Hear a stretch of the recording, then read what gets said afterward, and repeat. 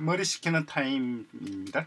이번 주제는 어, 친환경 생산과 소비, 친환경 소비 문화에 대한 거예요. 어, 상당히 재미있는 주제입니다. 이게 지금 어, 두 가지 문제를 다 해결하는 거예요. 친환경 소비 문화를 정착하는 거고, 정착시키는 거고, 그리고 요즘 많은 말 많은 택배, 그죠? 아파트 택배입니다. 아파트 택배 문제.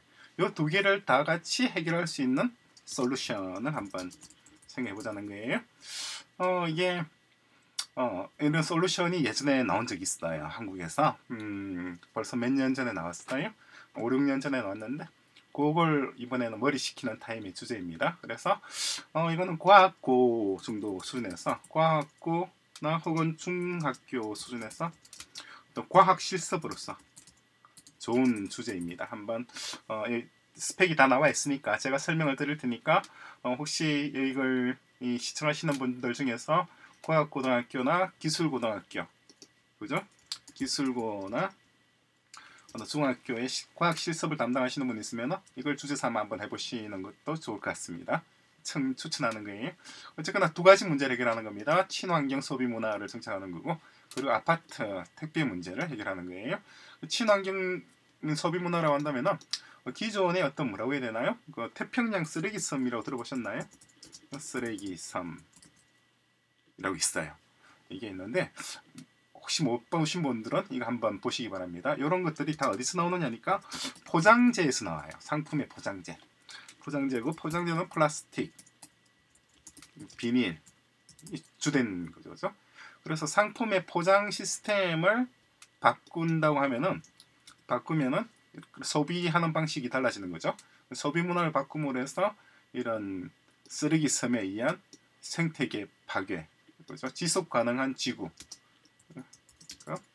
공존 가능한 지구 환경이죠. 그죠?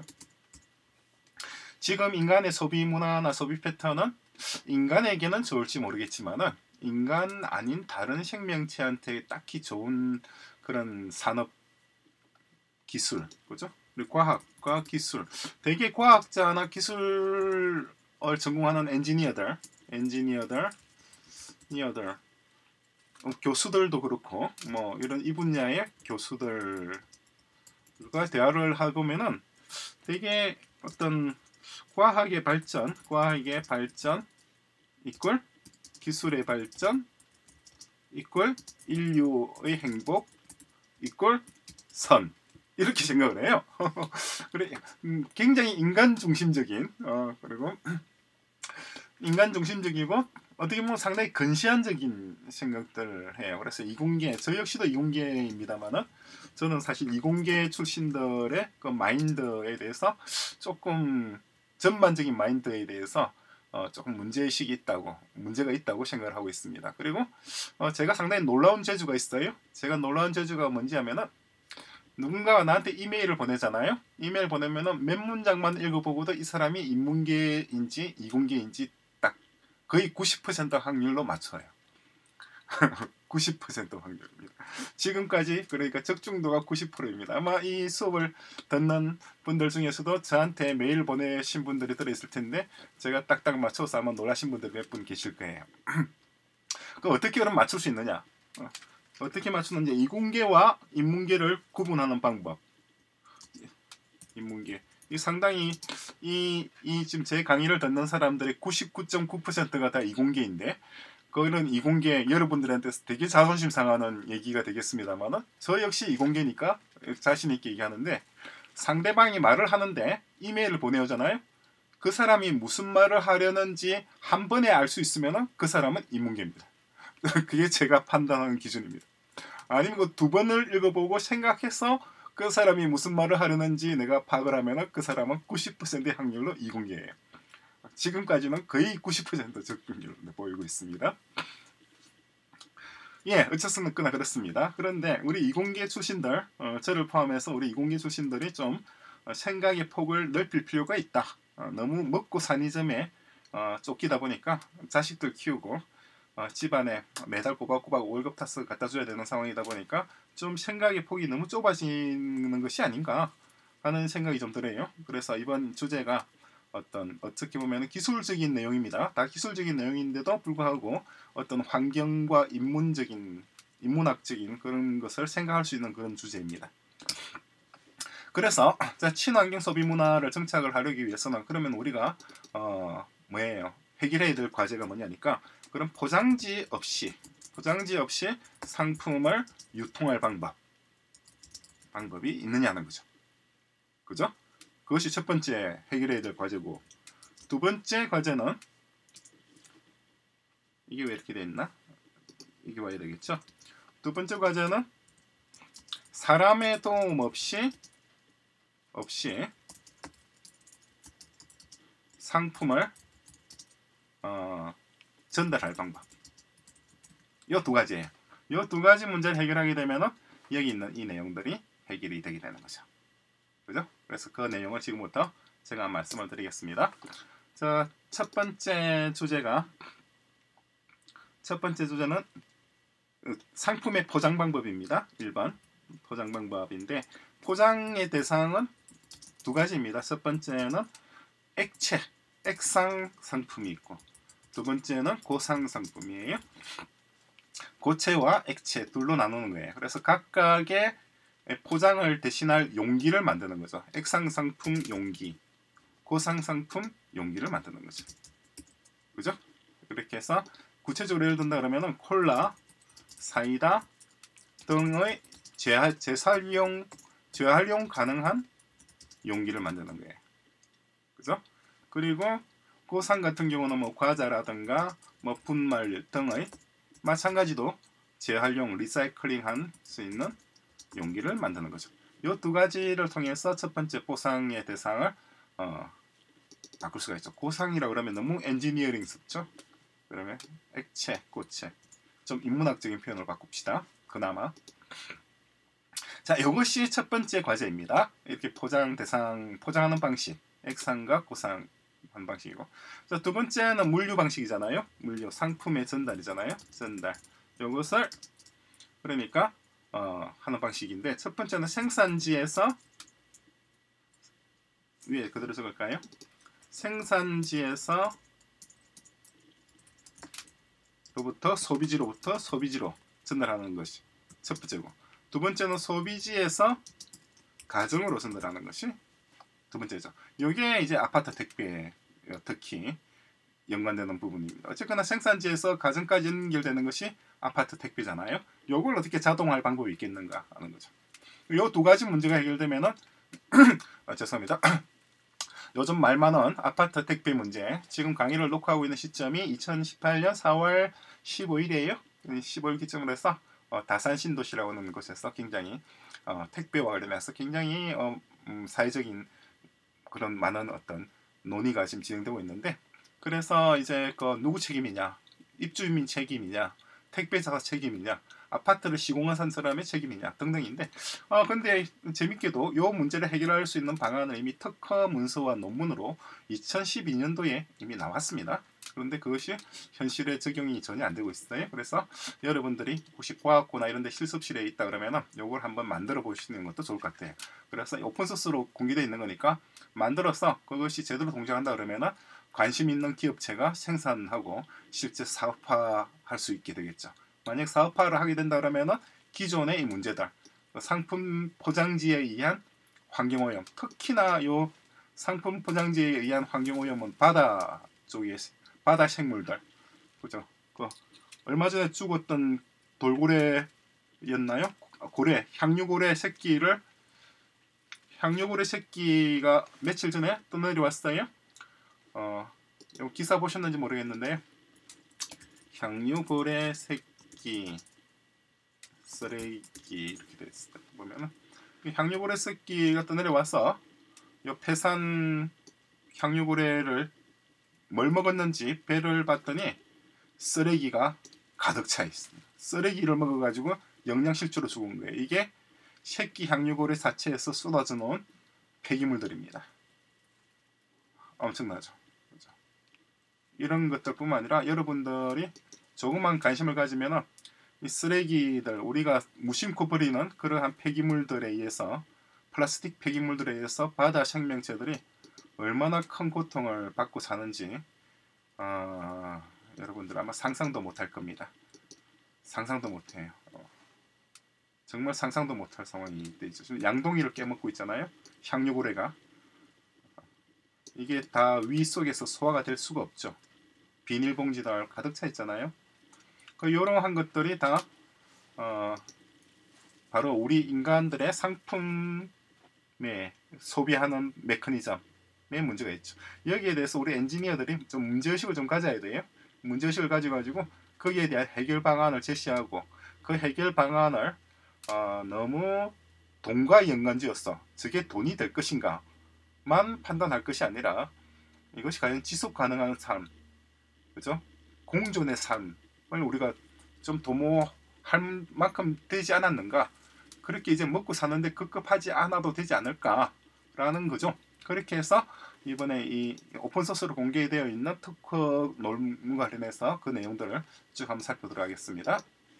자, 링크가 걸려 있어요. 링크 걸려 있으니까 그 링크들을 보시고 요 문서를 천천히 읽어보시기 바랍니다. 근데 제가 간단하게 어, 요 메커니즘을 말씀을 드릴게요. 페이지 수도 20페이지 정도 분량입니다. 이게 재활용 가능한 용기예요. 상, 그는 액체 용기입니다. 주입구에서 액체를 주입해서 요 녀석을 그대로 쓰는 거예요. 그리고 이제 밑에 바퀴 있는데 실려가지고 어, 판매기 그러니까 편의점 자체를 자동화시키는 거예요. 편의점을 편의점을 무인화시킨다 보시면 돼요. 무인화시키는데 그냥 무인화시키는 것이 아니라 이것을 친환경 형태로 무인화시키는 친환경 장치를 구, 구하는 거죠. 그래서 어, 편의점 장치를 하나 만드는 거예요. 그게 지금 나와 있는 아마존 고 같은 건데 아마존 고에다가 여러분들이 하나 더 추가하면 돼요. 여기다가 이것을 machine Amazon Go를 하나의 machine으로 만드는 것이 machine으로 만들고 그죠? 하나의 machine으로 만들고 이게다가 recycling하는 recycling 용기 용기 포장지 패키지라고 해야 되나 뭐라고 해야 되나요? packaging packaging device 설치하는 거죠. 요게 합쳐지면은 지금 이 발명품이 제시하는 상품이 됩니다. recycling packaging device 합쳐지는 거예요. Amazon Go와 그죠? Amazon Go가 뭔지 인터넷 한번 검색해 보시기 바랍니다. 그렇게 하면 이런 식으로 구성이 시스템이 만들어지게 됩니다. 이 장치예요 하나의 Amazon Go에다가 어, 재활용 가능한 그러한 용기들을 이용해서 무인화시킨 어떤 기계 장치가 됩니다. 용기 바닥면은 이렇게 돼 있고 요것들이 이제 요, 이거는 용기를 이송하는 장치예요. 전자석입니다. 전자석을 통해서 딱 부착해서 기계 장치로 가서 필요한 콜라면 콜라, 사이다면 사이다 이걸 쭉 주입받아서 가져오는 거죠. 가져오는데 요것도 이제 마개가 있어요. 이 마개가 있는데 이 마, 당연히 있겠죠. 마개가 있고 윗면도 있고 옆면도 있는데 요 마개가 상당히 특수합니다. 마개가 왜 특수하냐니까 마개를 통해서 캡이잖아요. 여기를 통해서 액체를 주입하는 거잖아요. 주입하는데 액체의 종류가 다양할 수가 있죠. 그러니까 사이다도 있고 콜라도 있고 뭐 샴푸도 있고 그리고 뭐, 뭐 별의별 오일도 있을 수가 있고 뭐 소독약도 있을 수가 있고 여러 가지가 있겠죠. 그런데 사이다를 담았던 곳에다가 오일을 담거나 소독약을 담거나 그러면 안 되잖아요. 혹시 콜라인 줄 알고 먹었는데 알고 보니까 샴푸더라. 이것도 안 되잖아요. 그렇죠? 이걸 방지하기 위한 두 가지 방안이 제시가 되고 있습니다. 첫 번째 방안은 그 용기를 투명하게 해요. 용기를 투명하게 해서 내용물을 볼 수 있다는 거. 볼 수 있다는 것이고 두 번째는 마개의 마개의 뭐예요? 규격을 상이하게 합니다. 규격을 상이하게 해서 특정 종류의 액체가 특정 종류의 마개에 주입되는 거죠. 그죠? 그리고 또 마개와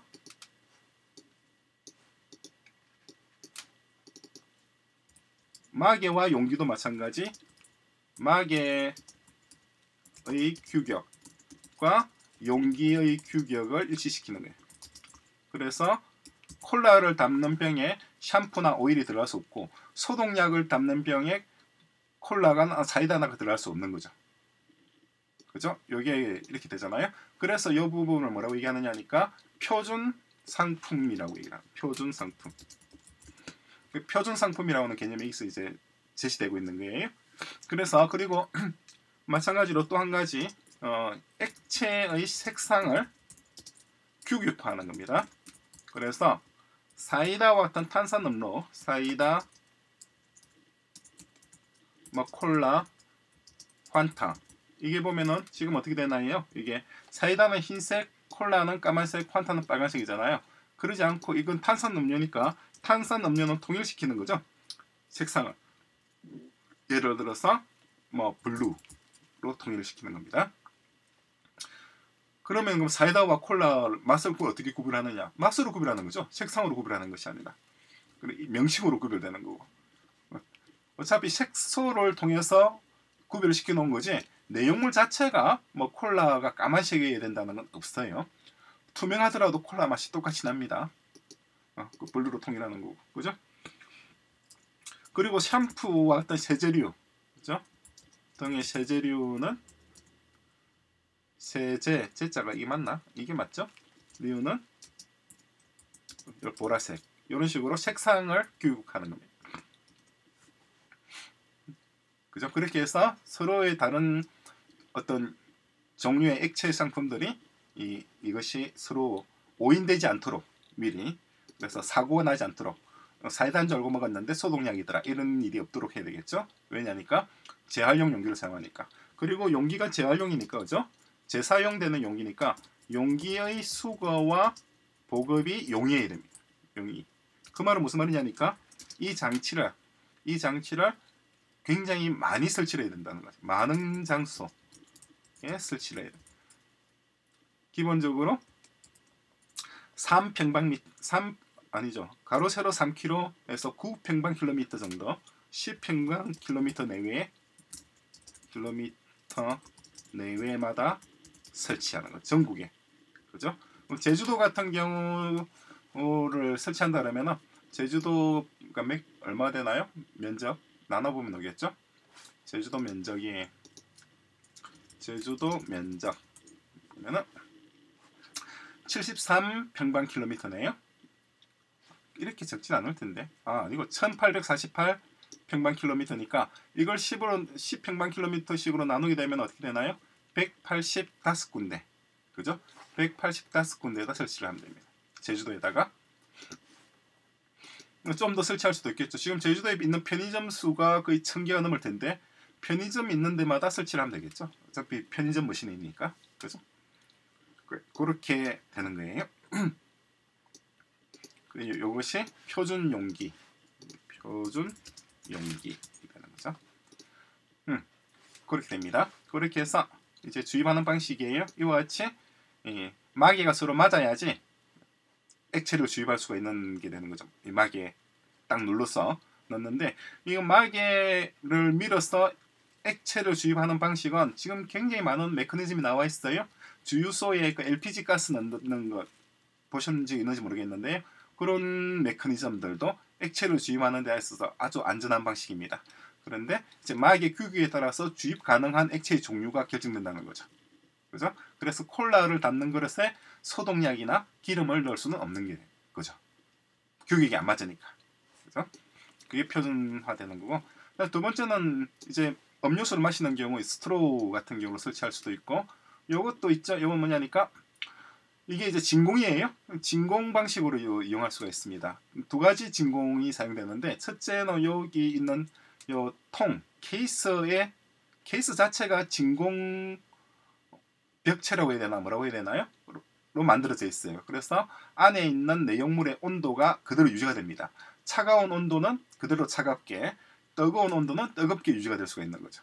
따뜻한 음료는 계속해서 따뜻하지고 차가운 음료는 계속해서 차갑게 되고 그리고 또 한 가지가 뭐냐니까 이 음료 안에 있는 액체가 외부로 토출될 만한 것만큼 이렇게 용기의 크기가 줄어들어요. 그죠? 줄어들어서 예를 들어서 콜라를 캔을 따서 먹는다 그러면은 그걸 다 먹어야지 다 안 먹으면은 탄산가스가 날아가 버리게 되겠죠. 맥주도 마찬가지고. 그죠? 위스키 같은 경우도 향이 날아가 버릴 거 아니에요? 따놓고 조금만 먹고 말면은 그런데 이와 같은 용기를 쓰게 되면은 탄산가스가 날아갈 수가 없어요. 원래 상태 그대로 끝까지 유지가 되는 거죠. 그죠? 그리고 이 용기도 클 필요가 없습니다. 용기도 작아도 돼요. 어, 기존에 있는 용기들보다 더 작아도 됩니다. 왜냐니까 군데군데 이렇게 설치되어 있으니까 만약에 10평방킬로미터가 아니라 뭐 2km 간격, 4평방킬로미터 되겠네요. 이렇게마다 설치한 다음에는 제주도에는 몇 군데 설치가 되나요? 제주도 4로 나누게 되면은 어, 4, 4, 4, 5, 20, 약 500군데 정도 설치가 되겠죠? 그죠? 500군데에다가 설치를 하게 되면은 누구나 쉽게 용기를 반납을 할 수가 있고 하니까 굳이 용기가 클 필요가 없죠. 그죠? 먹을 만큼만 있고 또 바로 가서 리필하면 되니까. 그죠? 그런 식으로 용기를 작은 용기로 쓰고 그리고 자기가 소비하는 것만큼 용기 사이즈가 줄어들게 되니까 안에 있는 탄산이 그대로 유지가 되고 그리고 안에 있는 그러면 여기 있는 용기가 줄어들었잖아요. 줄어드는 상태에서 이 상태에서는 어떻게 될까요? 이 상태에서는 그러면은 요 절반만 먹었다. 절반만 먹으면 절반의 공간이 생기니까 탄산이 그리로 빠져나가게 되지 않을까요? 근데 그것도 막는 메커니즘이 있어요. 뭐냐니까 이걸 재활용 가능한 그러니까 그 뭐예요? 그래서 재활용이 아니고 그 뭐라고 하나요? 어 그걸 뭐라고 그러는지 모르겠네. 하여튼 부패되는 분해되 생분해되는 비닐이 있어요. 생분해되는 비닐 재질로 만듭니다. 그래서 이를 예를 들어서 내용물을 뽑아서 쓰게 되면은 요 비닐이 쪼그라드는 거예요 안에서. 그죠? 쪼그라들어서 결국은 마지막 한 방울까지 처음에 그 탄산 음료 그 상태가 그대로 유지가 되는 거죠. 맥주 같은 경우도 쓸때김 빠지는 경우가 없단 말입니다. 그죠? 자, 요거는 고체 상품들입니다. 고체 상품들인데 이것도 마찬가지입니다. 이렇게 이렇게 스크루가 돌면서 이렇게 과자나 이런 것들을 보급할 수 있도록 구성되어 있는 거예요. 그래서 이것도 마찬가지 똑같이 해야 됩니다. 또 표준 상품이 됩니다. 무슨 말이냐니까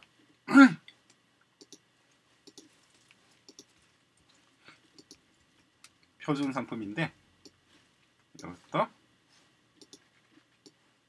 지금 과자들 보면은 과자들 별로 모양과 크기가 다양하죠.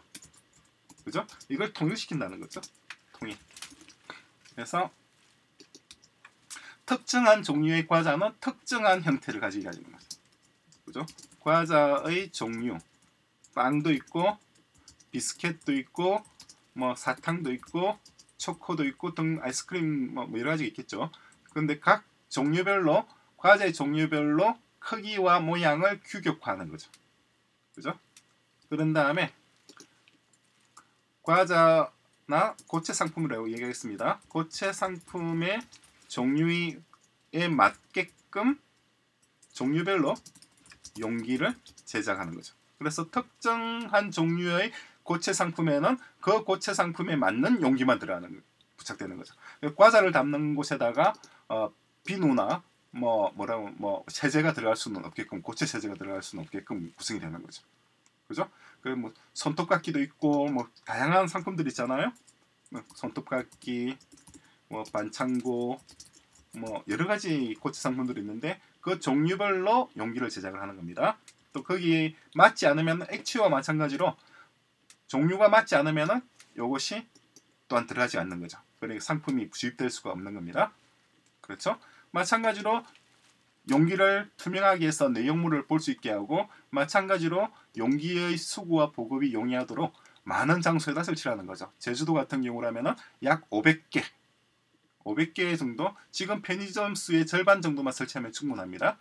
편의점 수의 절반만 제주도 해안가 도로 등을 따라서 설치를 하게 되면 이 시스템을 그대로 적용할 수가 있어요. 그래서 자기가 뭐예요? 어떤 소비한 상품 그 용기는 빈 용기가 되잖아요. 빈 용기는 그 기계에다 그냥 반납을 하면 되는 거죠. 그죠? 반납이 쉽게 되기 위해서는 많은 장소에다 설치해야 되겠죠. 그게 요 고체 상품을 이렇게 토출하는 보급하는 메커니즘입니다. 간단한 거예요. 그리고 안에 있는 내용물들이 어, 줄어들게 되면 이렇게 경사도가 만들어지면서 남아있는 상품들이 흘러서 이렇게 쭉 빠져나올 수 있게끔 그죠? 이것도 수평이잖아요. 이것도 마찬가지로 이렇게 경사를 좀 줘야 되겠죠. 만들 때는 임플멘테이션 할 때는 그죠? 이거는 초안이니까 그냥 그대로 하면 돼요. 자 이게 이제 그 물류 장치입니다. 택배 장치예요. 아파트 같은 경우죠. 아파트 같은데 그대로 편의점 같은 경우도 예를 들어서 이 편의점이 편의점이 어떤 형식이냐니까 편의점 자체가 기계예요. 그래 아마존고를 자동화시킨 겁니다. 아마존고를 고를 요것을 하나의 머신으로 만든 겁니다. 머신으로 만들고 여기다가 재활용, 리사이클링 바울스 용기들 쓰고 있는 거죠. 그죠? 요 장치입니다. 이 장치가 아파트 입구에 있다. 뭐 동네에 있다. 그러면은 내가 이걸 가져와야 될 거 아니에요. 그죠? 가져오는 택배 시스템이죠. 그죠? 그럼 이 가게, 이 기계로부터 내가 있는 우리 집까지, 내 사무실까지 상품을 운송하는 메커니즘. 그게 이제 택배, 자동 택배 시스템입니다. 그래서 이것이, 이게 엘리베이터예요. 여기 박스고, 바퀴가 달려 있죠? 이게 탑승해서 이렇게 올라가고 내려가고 하는 겁니다. 그래서 마찬가지 오르내리는 메커니즘도 이렇게 설명이 되어 있습니다. 이렇게 어떻게 해서 오르내릴 수 있는지 어, 이것도 시뮬레이션 기계도 있어요. 어, 시뮬레이션 기계가 되어 있으니까 요게 어떤 식으로 해서 동작하는지도 어, 상세하게 설명이 되어 있습니다. 그래서 상품이 어, 아파트 뭐 10층이면 10층으로 쭉 벽면을 타고 올라가거나 복도를 타고 또 지나가거나 수평 수직 이동이 되도록 구성이 되어 있어요. 그래서 요건 마찬가지 어떻게 해서 이 위로 올라가고 아래로 내려가는지 그 도르래 죠 메커니즘 동력 메커니즘이죠. 동력 메커니즘도 설명하고 있고 그리고 경로도 일시 결정을 합니다. 이 기계가 그러니까 기계 장치가 어, 요 기계로부터 집까지 가야 될 거 아니에요. 그래서 그러니까 기계 머신에서부터 여기 쉽게 그냥 편의점 기계라고 합시다. 편의점 기계로부터 하우스 주문자의 하우스 또는 사무실까지 가야 되겠죠. 그죠? 그럼 경로를 결정해서 가야 될 거 아니에요. 몇 동 몇 호. 그죠? 그 경로를 결정하는 메커니즘도 여기에 설명되어 있습니다. 그래서 숫자들이 이렇게 막 나와 있죠. 뭐 좌회전, 우회전 해서 갈림길에서 어떻게 나눠지고 어떻게 경로를 찾아서 01, 01, 01 이렇게 목적지로 표현을 해요. 표현해서 도착하게 되는 거죠. 그러니까 비트 이 이진수로서 목적지를 지정하고 그 목적지를 따라서 그대로 가는 거예요. 가는 거고 어, 이, 이 메커니즘은 machine learning이 나오기 전에 고안됐던 장치예요. 그런데 이것이 나오고 난 이건 벌써 한, 한 5년, 6년 전에 나왔던 메커니즘입니다. 근데 그 사이에 지금 많이 바뀌었잖아요. machine learning도 나오고 막, 막 블록체인 기술도 있고 그렇잖아요. 그러니까 새로운 기술들을 적용한다 그러면은 이 5, 6년 전의 형태보다도 훨씬 더 효율적이고 효과적인 형태로 만들 수 있겠죠. 이게 메커니즘입니다. 그래서 뭐 여기가 머신입니다. 머신에서 하나의 머신에서 다른 머신으로 전달되고 그 머신으로부터 아파트나 사무실에 있는 누군가에게로 전달되는 메커니즘이죠. 이렇게.